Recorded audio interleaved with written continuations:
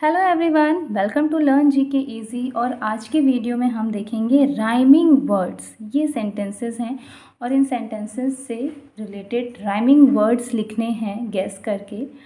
इस तरह के क्वेश्चंस छोटे बच्चों की जीके की बुक में आपको मिलेंगे। तो अगर आप बच्चों की एग्ज़ाम्स की प्रिपरेशन कराना चाहते हैं तो इस टाइप के क्वेश्चंस आप उन्हें प्रिपेयर करा सकते हैं।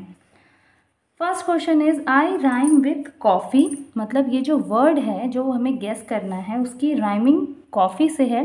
कॉफ़ी से मिलता जुलता वर्ड है you can enjoy my taste और आप उसका टेस्ट एन्जॉय करते हो। आई एम तो हमें गेस करना है वो क्या चीज़ है। तो कॉफ़ी से मिलता जुलता वर्ड है टॉफ़ी और हमें इसका टेस्ट भी अच्छा लगता है। आई राइम विथ लुक अब लुक वर्ड से मिलता जुलता ये वर्ड है। You can study my by using me और हम उससे स्टडी करते हैं। तो ये है book I rhyme with log log से मिलता जुलता वर्ड है। आई गार्ड योर हाउस और जो भी ये वर्ड है, वो क्या है? I guard your your house मैं उसके घर को गार्ड करता हूँ। तो हमारे घर को कौन गार्ड करता है?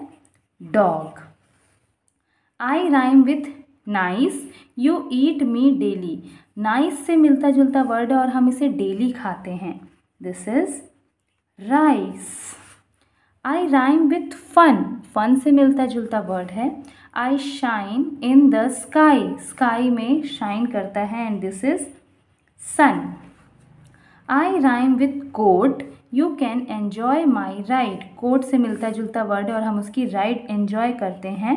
That is boat I rhyme with moon you eat food using me I am the dash moon से मिलता जुलता वर्ड है और हम खाना खाते समय इसका यूज़ करते हैं। दैट इज़ स्पून वीडियो अगर पसंद आया हो तो लाइक का बटन ज़रूर हिट करें। चैनल पर नए हैं तो चैनल को सब्सक्राइब करें। Thanks for watching.